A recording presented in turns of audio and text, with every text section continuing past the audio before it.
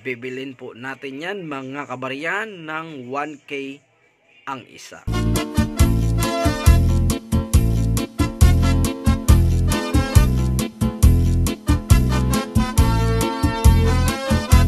Kaupay mo sumayaw Kayo ba sa lawas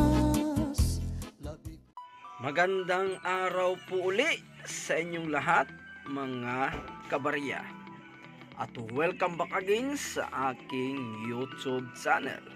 At meron na naman po tayo ditong bibilhin na barya or banknotes man po. Yan po. At welcome po muna sa aking mga new subscriber. Maraming maraming salamat po sa inyong lahat. At kung bago ka pa lang sa aking channel, i-click mo lang yung subscribe sa baba at paki-hit na rin ng bell button para ma-notify ka sa next video na bibilhin kong coins or banknotes man po. Ito po ay amulet or anting-anting. Yan po.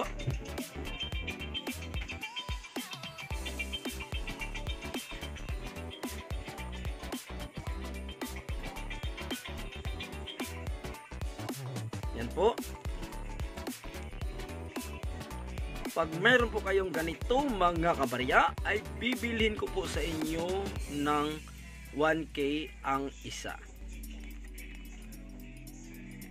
Ganito pong anting-anting. Isa po itong silver medal kung tawagin.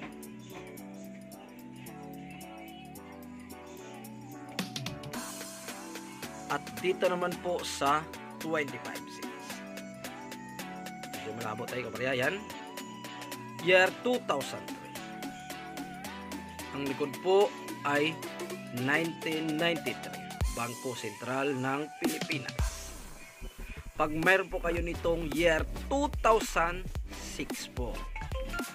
2006 na 25 cents bibilin po natin yan mga kabaryan ng 1K ang isa. Depende po yan sa kondisyon ng coins. Itong 2003 naman po ay hindi po ako bumibili ng year 2003 kundi year 2006 lamang po na 25 cents. Kung mayroon man kayo kabarya, PM na agad sa aking FB account at yan po yung aking FB account. At dyan nyo po ako i-PM at dyan nyo po ipasa ang picture ng coins tulad ng aking pinakita sa inyo. Maraming maraming salamat naman uli sa aking mga viewers at maraming salamat din sa aking mga subscriber. Ingat po tayong lahat at God bless po sa inyo. Ako pa lang yung lingkod, si Waray.